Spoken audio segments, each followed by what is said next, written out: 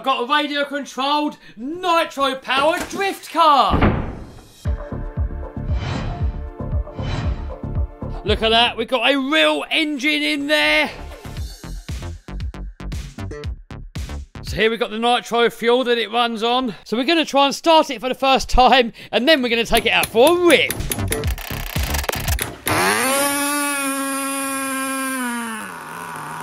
So it's got a real working engine, a disc brake, metal chassis, double wishbone suspension front and rear. Run it in fast, it'll be fast. Next, we need to add some batteries for the servos. So I'm not a fan of these double A battery holders, so I'm going to go ahead and fit a LiPo.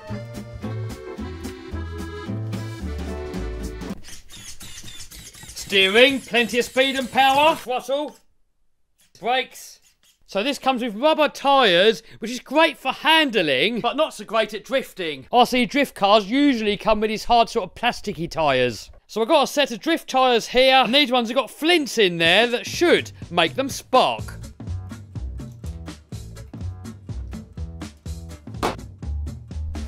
Boom!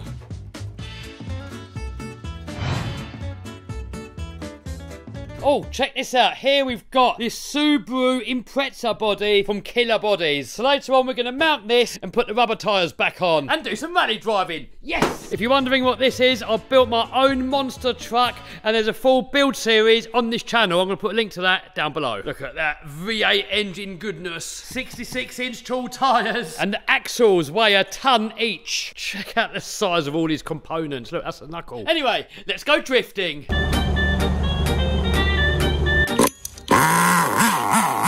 Perfect for drifting. Check out the weather. It's winter, but it's like summer. Bang!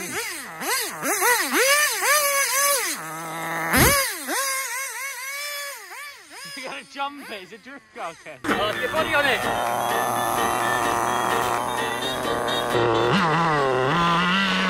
it.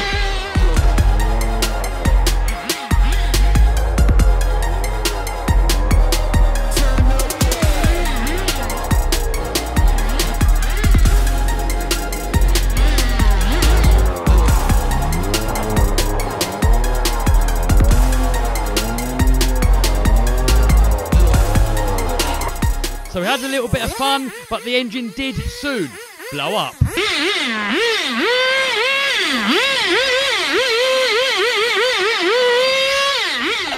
Oh.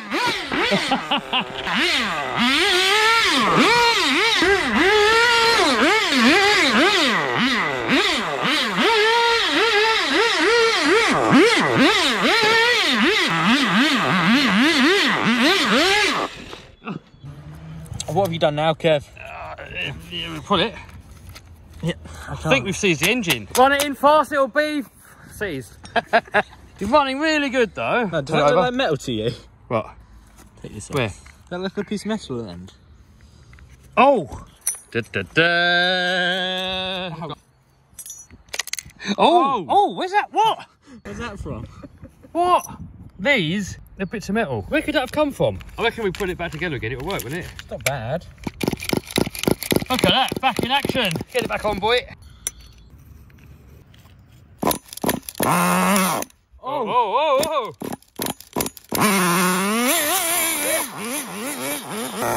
Max's go.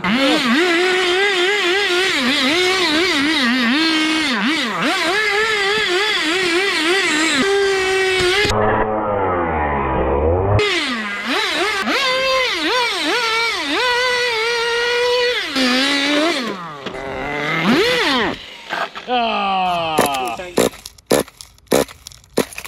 Oh, has it gone tight again? I don't know. Oh, it's gone tight again. No. Is it? Yeah. Oh, head off again. Where's all this What? coming from? There's more of it. Oh, See, solid. Ah, won't even turn. I'm gonna push that piston back down. Bang that on there. that's, what, that's what I'm to do, yeah. Oh, it's everywhere. Back in it. Oh my god, look what's onto that. It's shot blasted the head.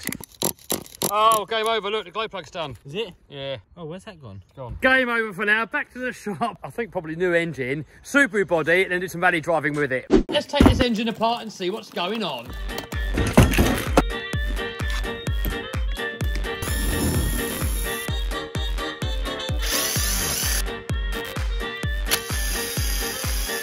Here we go.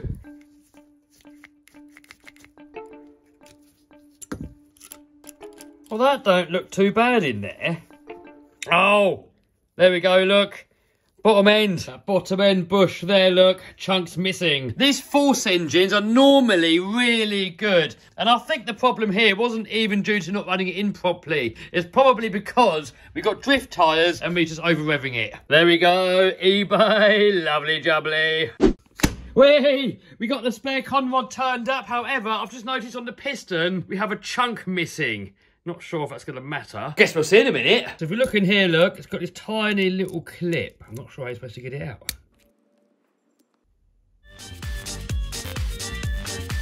We'll give that a quick clean up with some brake cleaner. I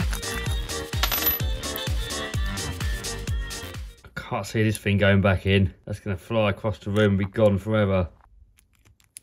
Yeah, guess that's in. Better give that a quick clean in there as well. What's that bit for?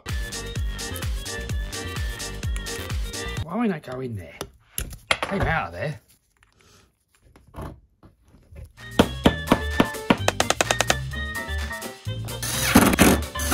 We've got a brand new glow plug. So I reckon that spring must go in there, then the pin, and that must locate in there. There we go, full engine rebuild. Oh. What is going on? Easy to just buy a new one.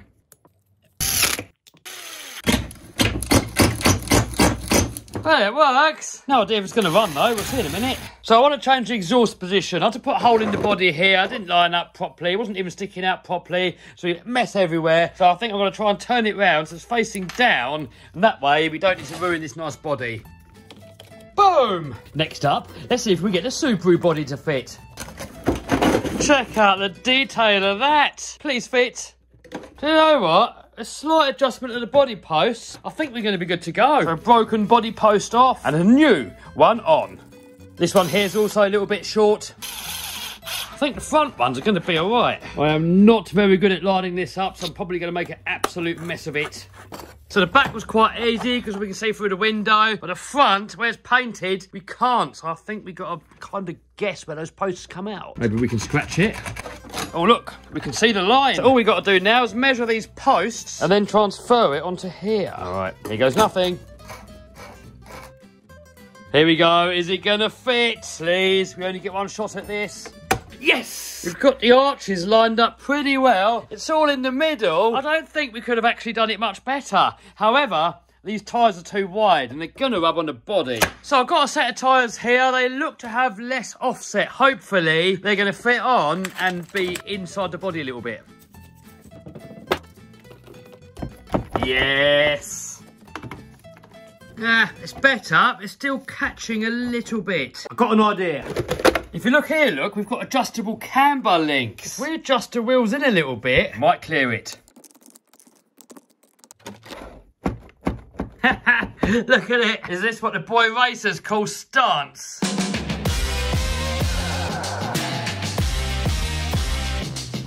Next up, let's see if the engine runs, and then we're going to take it out for a rip.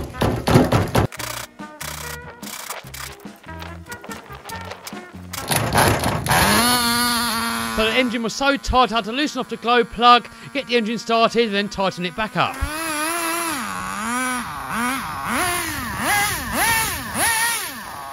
Next up, servo upgrade. So this is a AGF premium servos. Check out those specifications. That is one of the fastest servos I've ever seen. If you want all the techno babble, link down below. Let's get it in. So a plastic case on this one to keep the weight down, I presume. Metal gears.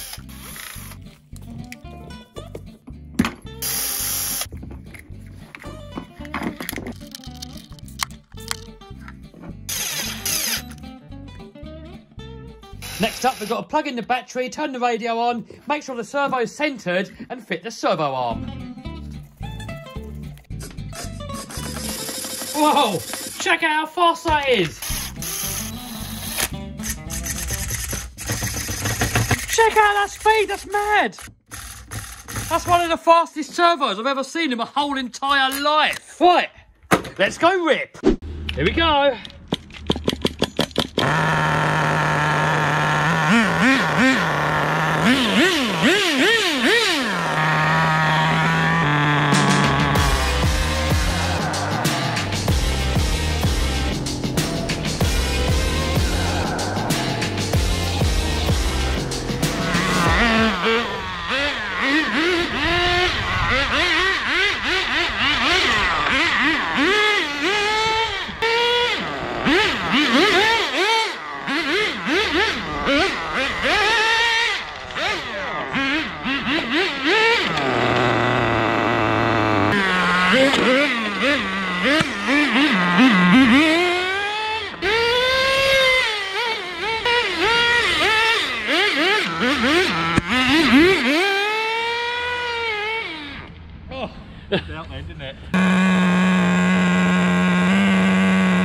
here we're attempting to tune it. Yeah.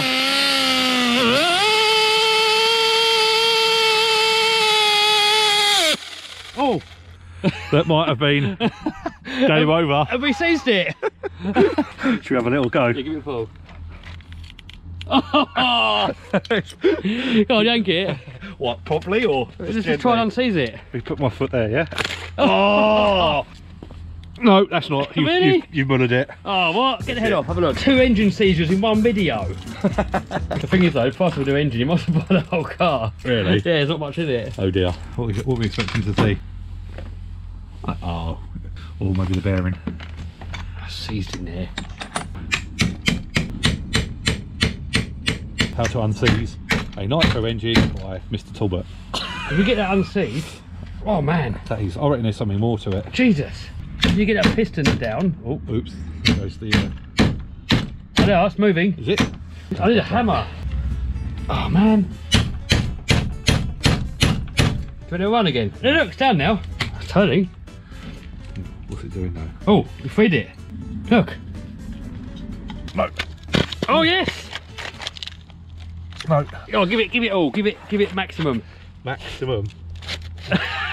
Uh, I'll, I'll saddle it as well.